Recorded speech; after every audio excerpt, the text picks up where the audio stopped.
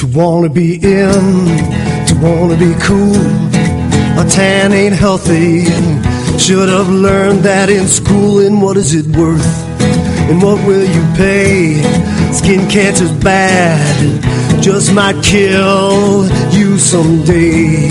Indoor is out, yeah, indoor tanning is out. It's time to learn what it is all about. That indoors out, yeah, indoor tanning is out. Those tanning lights, girl, they just ain't right. Cause UV rays from tanning beds can age your skin, leave you wrinkled and red. Hope you know the good and bad to do.